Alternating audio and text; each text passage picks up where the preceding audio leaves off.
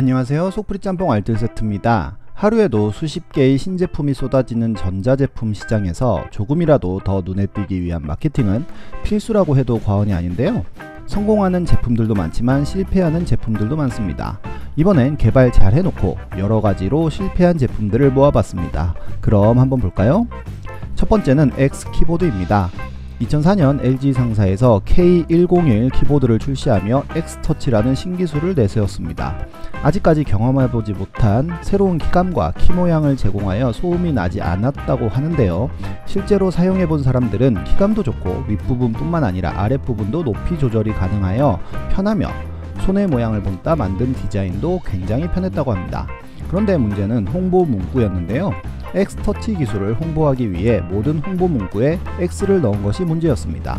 X 같은 생각, X 같은 디자인, X 같은 기술, X 같은 인체공학적 설계, X 같은 색상, X의 강인함, X 같은 새로운 다리, X 같은 섬세함, X 같은 디자인, X의 기술, LG 상사 등 X로 떡칠을 하면서 다른 의미로 나중에 viral이 되는데요. 이후로 나온 또 다른 LG 키보드 광고는 멀티미디어 키 기능에 물음표를 넣으며 또 다른 화제가 되기도 했습니다.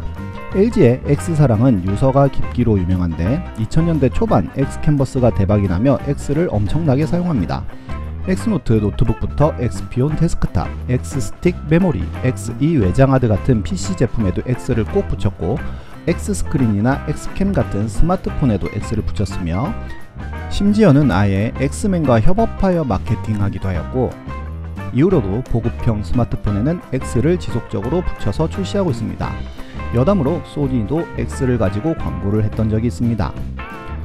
두 번째는 아이패드입니다. 지금도 아이패드는 나름 잘 팔리고 있는데요. 처음 출시됐을 때 저게 뭐야 했던 사람들도 내 돈 주고 사긴 뭔가 아깝지만 어디서 당첨되면 잘 쓸 것 같은 그런 느낌의 제품으로 잘 포지셔닝 되어 있습니다. 그런데 애플의 아이패드가 출시되기 거의 10년 전에 LG에서 아이패드를 개발했었는데요. 실제로 해외 출품 모델명이 디지털 아이패드였습니다.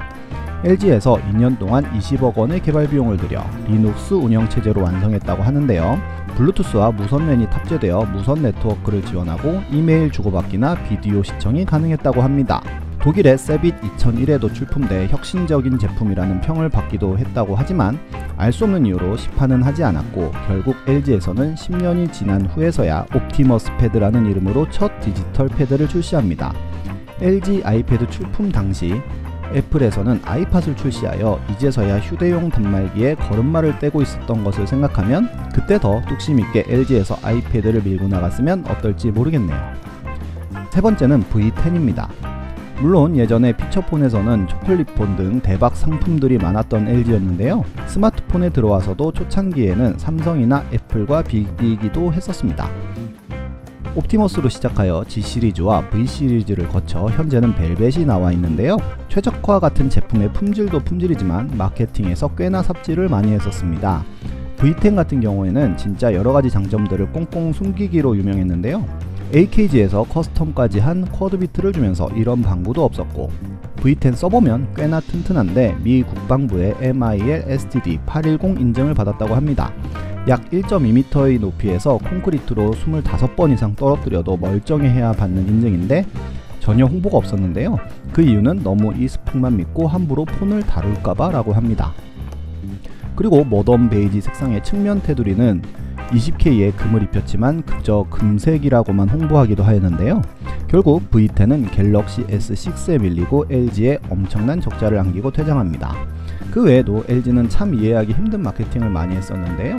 V20에 와서는 듣다 보다 그 이상의 포스터가 참 듣보스러웠고 얼마 전에 폭망한 이벤트로 다루었던 G2의 출시 이벤트도 굉장했으며 지플렉스의 광고는 혐오스러워서 지금은 볼 수도 없으며 스마트폰은 아니지만 또 다른 사례를 들자면 LG의 그램은 14인치를 발표하며 무게는 그대로 980g이라고 했지만 실제로는 963g이었고 LG의 20만원대 모니터에 들어간 하드웨어 calibration 기능은 원래 100만원 넘는 고가의 모니터에서나 지원하는 기능이지만 그 어디에서도 홍보를 하지 않았으며 또한 LG전자 바둑 꿈나무 출신의 이세돌이 알파고와 한판 붙을 때 이세돌의 셔츠에는 손목에 G5가 새겨져 있었고 LG 스마트워치를 차고 나왔지만 아무도 몰랐고 LG 톤플러스를 하면 맥북 에어가 쏟아진다고 하여 놓고 알고 보니 맥스봉, 책, 나이키 에어를 주는 것이었으며 LG 베스트샵은 내맘 LG라는 희대의 드립을 치기도 하였습니다. 그리고 LG는 선행도 참 많이 하는데요. 매년 독립운동가와 후손들을 위하여 집안 무료 개보수 등의 지원을 하고 지뢰 부상 군 장병에겐 5억 원의 통 큰 지원을 하기도 하였으며 매년 LG 의인상으로 의인들에게 표창을 하고 있기도 하고 시각장애인들을 위한 지원에도 힘을 써서 시각장애인 전용 휴대폰을 개발하여 기증하는 등 굉장히 많은 선행을 하고 있지만 사람들이 잘 모릅니다.